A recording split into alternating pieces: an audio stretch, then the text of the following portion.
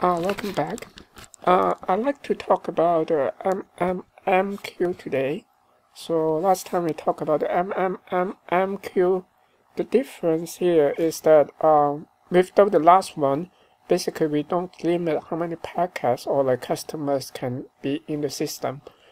So we can let's say to have like infinite number of customers uh, packets. So basically, we have we can think of we have a queue that it can be infinitely long, and we have like m servers here. There's m of them, and uh, each of them, let's say, they can process a customer with an average rate of mu, and uh, the incoming um, traffic or arrival will be at the weight lambda and uh, the incoming is uh, incoming uh, arrival process is Poisson and then the outgoing is also kind of Poisson so or like more precisely will be uh, the service time will be exponentially distributed with a weight mu.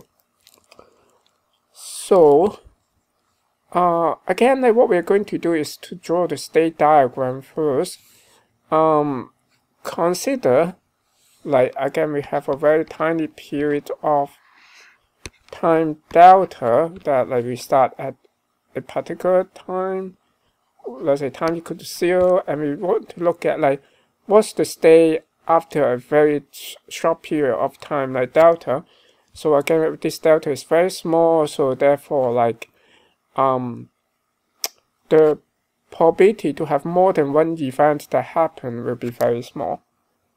Um, so let's say we draw the state diagram now, have 0, 1, 2, 3, and so on. This correspond to like no packet in the system and one packet, two packets, three packets in the systems.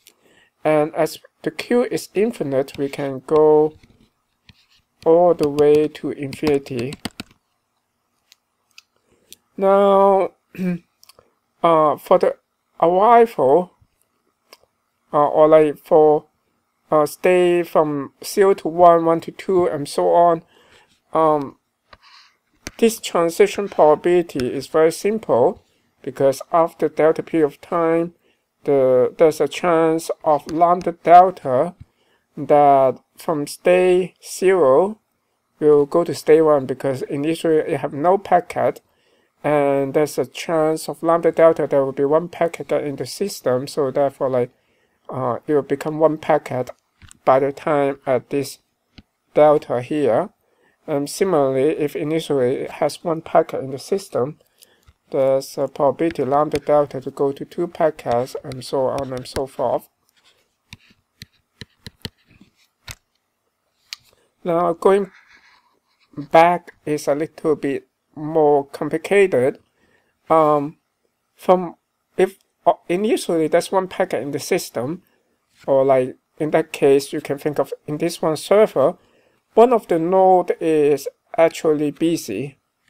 Maybe I will just draw like that is saying it's busy, and this packet will have uh, a probability mu delta that it will be finished serving after delta period of time. So therefore, uh, the transition probability here is just mu delta. And if I have two packets in the system at the beginning, let's say these two are busy at the beginning, so either one of them will be finished with probability mu delta. So therefore, overall, if I just want to look at what's the probability that one of them get finished, the probability will be just 2 mu delta. Uh, well, let me do that. And similarly, this would be just 3 mu delta and so on and so forth. And uh, and from the state m to m minus 1, uh, that would be just m mu delta, the transition probability. But from m plus 1 to m, in this case, all these m servers will be busy. Basically, I have all of them are busy. And at the same time, there's one packet in this here. Uh, and the probability therefore like to get one of these packet get served. Will still be m mu delta. So therefore we can this will be still be m mu delta and so on and so so on and so forth for uh this state oh this is too ugly. State um m plus 2 and m plus 3 and so on. Now we have this state diagram drawn already so the next step we want to do is find the stationary probability. Let's say the stationary probability is just pi 0, pi 2, pi 1, pi 3, is pi m minus 1, pi m, and so on and so forth. Um, then uh, just look at what's going into like this state 0 and what's going out of this state 0. We'll have the for stationary probability, uh, steady state probability, we need to have what's going in is equal to what's going out. What's going in is like pi 0 times mu delta, and what's going out is, uh, sorry, what's going in is pi 1 times mu delta. What's going out is pi 0 times lambda delta. So therefore pi 1 is equal to lambda over mu times pi 0 and again, let us define rho as lambda over mu, so therefore this is just equal to rho pi 0. And similarly, uh, we can look at this block here and see what's going in. For these days, the probability not going to change. What's going in has to be equal to what's going out. So therefore, like what's going in will be pi 2 times 2 mu delta. And what's going out is pi 1 times lambda delta. So pi 2 is equal to lambda over 2 mu pi 1 uh, is equal to uh, rho over 2 uh, pi 1 is equal to rho square over 2 pi 0. And we can continue to do that. And we can see that for all stay when k is less than equal to m, pi k is just equal to rho to the k rho to the k over k factorial times pi 0 and uh, and if we have like uh, pi pi m plus k where k bigger than equal to 0 is just equal to rho to the m plus k pi 0 uh, m factorial and then m to the k. So what next is that uh, again these probabilities because they are probabilities they have to sum up to zero so therefore if I sum pi let's say pi i i equal to 0 to infinity this one should equal to oh sorry I mean sum up to 1 it should normalize to 1 so and then um I have uh, i from 0 to m let's sum like this.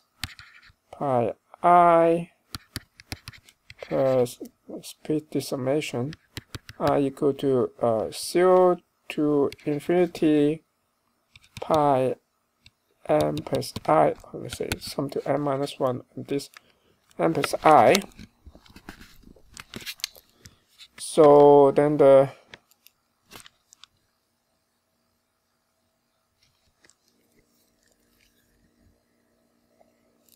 first term, let me just copy the first term. I'm not, uh, uh, equal to 0 m minus 1 pi i is rho to the i pi 0 over i factorial and this is sum over i equal to 0 to infinity. And m I can pull this out. I have m factorial pull it out. Pi 0 I can pull it out. And uh, actually I can pull a over to the m also. Uh, so I have inside just rho to the k over m to the k. And rho to the, this one I know how to sum it is just equal to 1 over 1 minus rho over m. Uh, 0 m factorial rho to the m and this one I can do very little about it actually. But I can I can pull out the pi zero here. Um, I have I factorial this one is equal to 1 so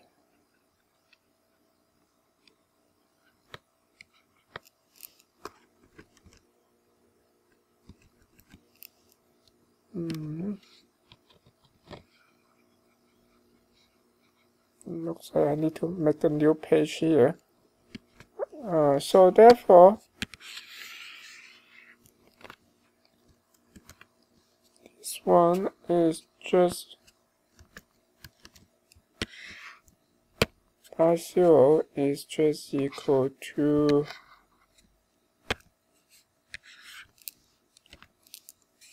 1 over this.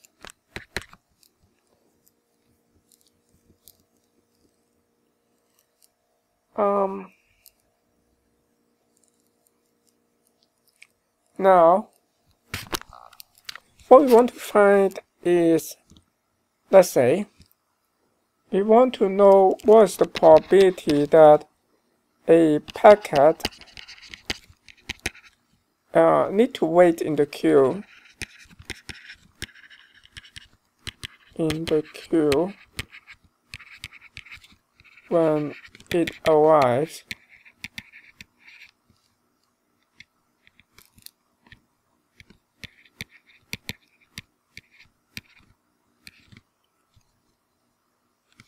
So, okay, we want to find the probability that uh, was the packet need to wait in the queue when it arrives.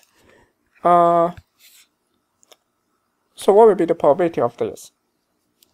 This probability should be just, okay, if we look back into the picture first, uh, I guess I skip one picture. If I look back to the picture here, um, I I don't need to wait in the queue when the packet arrives and obviously if there's no packet in the system and I don't need to wait in a queue and there's one packet, two packet and so on I might only need to wait in the queue when all M servers are busy. So therefore, like uh, we need to wait in the queue only when the state uh, is bigger than or equal to M. So therefore, this probability here, one page, let me move this thing back.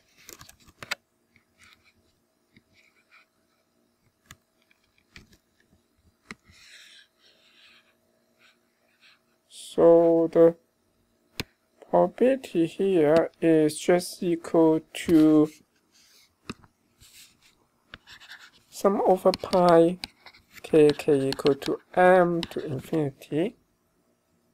And uh, or I can write like sum over pi m plus k k equal to 0 to infinity. And pi m plus k as we know above is equal to this one here. Let me just copy this one here down there.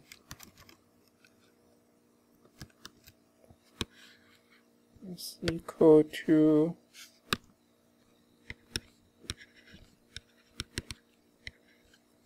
O to the m plus k times pi 0 over m to the k m factorial.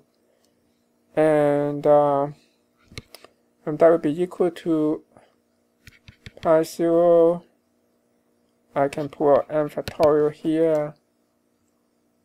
And uh, I can put O to m also. So I have m over k.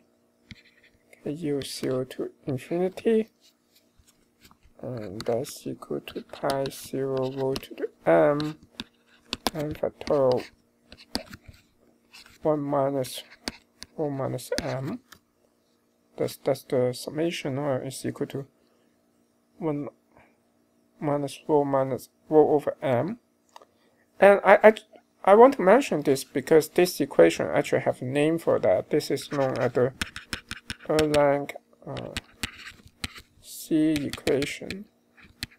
I think formula, Erlang C formula.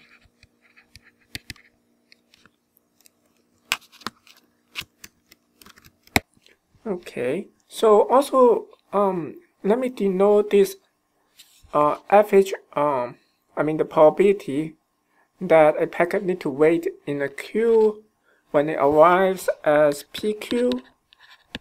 So just let me give a shorthand notation for it as PQ. So now I want to uh, analyze the wait time and delay and that kind of stuff. So to find the average wait time, uh, let us first find like what's the average number of packet in the queue first, because if we find that, we can use Little's theorem to find the average wait time. So let's see what's the um, average number of packet in the uh, in the queue? Average number packets.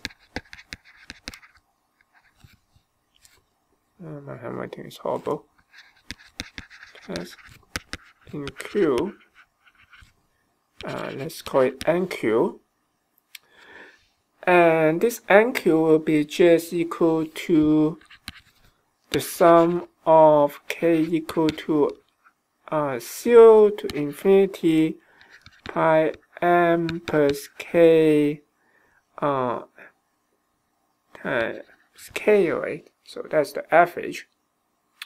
Uh, as like if we uh, as state m plus k, that would be like k packets in the queue, and that is equal to um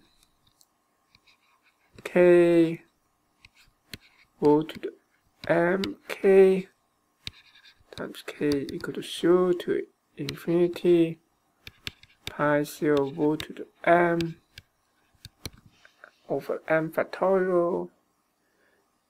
Uh, and I kind of know how to sum this thing, right? This thing is just equal to um,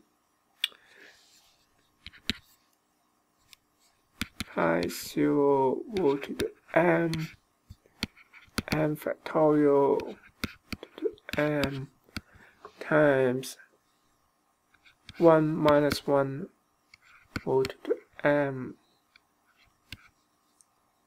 think I don't need that square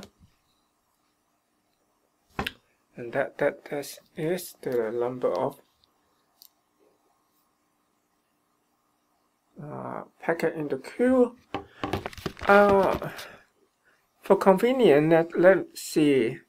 I already know that this part, like this thing, with this is equal to PQ.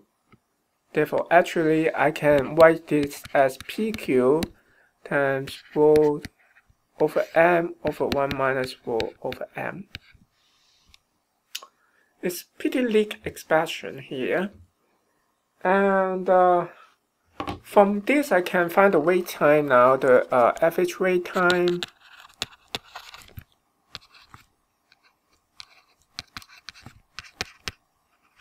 Is e let me write it as W. It's just equal to NQ uh, over lambda. That's by Little's theorem. So it's just equal to PQ over lambda 4 over M, 1 minus 4 over M. And actually, the average delay therefore is just equal to the average wait time plus average service time, right?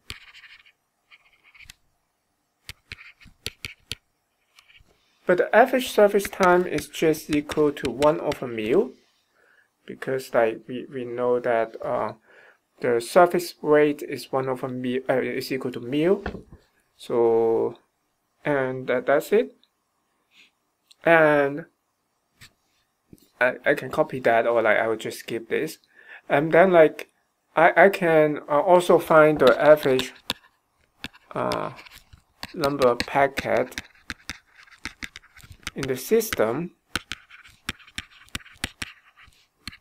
as let's call this average delay as t as just lambda t.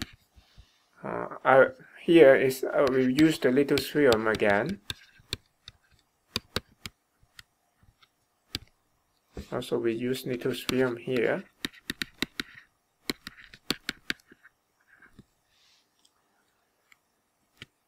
Uh, that's that's about it that what we can analyze about this system one thing i'd like to mention that is kind of interesting that you see that uh, the average number of packets in the queue and queue has a pretty nice expression uh, if we represent it using uh, PQ.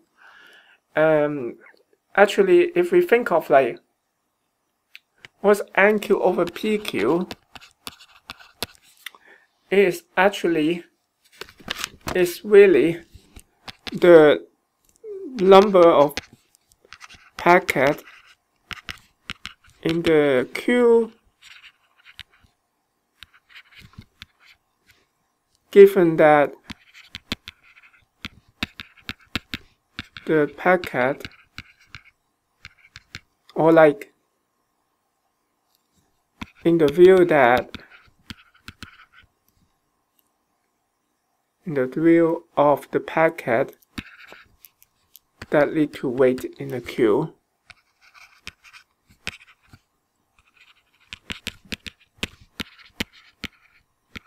Okay, it's a little bit, a little bit mouthful actually. Um, but if you think of like a packet that get into the system, let's say this is the system again.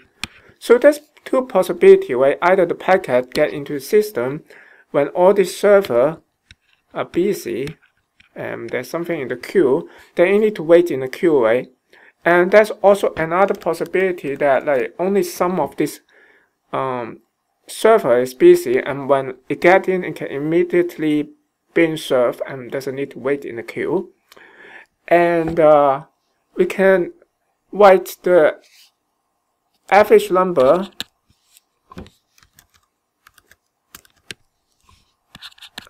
Packet in the queue as average packet. I skip this number here. Average number packets in queue given it to wait given it to wait. And times probability that it need to wait the packet need to wait. Plus average number packets in queue given no need to wait not wait say probability not wait and of course this probability that need to wait in the queue is just pq and does not need to wait is just 1 minus pq And um, um, actually, if you doesn't need to wait in the queue, apparently the average number of packet in the queue at the time that like the packet coming, the, the target packets that get into the system will be just equal to zero, right? So therefore this second term here is just equal to zero. So then we see that the average number of packet in the queue given that the packet coming needs to wait is just equal to this average number of packet in the queue, that's NQ here, over PQ. So okay, so therefore like again like this, therefore that explain why this very mouthful stuff is actually just equal to NQ over PQ. But the interesting part is like if we go back to this picture here, that means that like if we only think of the packets that when they come in, the server is kind of busy, and then the size of the queue there is just have the average length of rho to the m 1 minus rho to the m. And this expression we, we actually uh, we saw that before in the MM1 queue.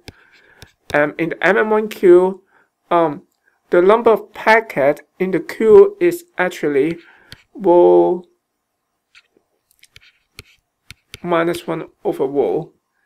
And this, this kind of makes lots of sense because if you look at this picture here, when the packet's coming in, when you need to wait in the queue, what you see is more or less like is actually it looks like just an MM1 queue, but it is being served by a server that you can think of like this parallel server that um, the overall throughput will be like instead of mil it will be like m mil right? So therefore like we have one uh this rho over m here instead of rho and uh, and this actually kind of uh, explain a lot like intuitively why this expression is so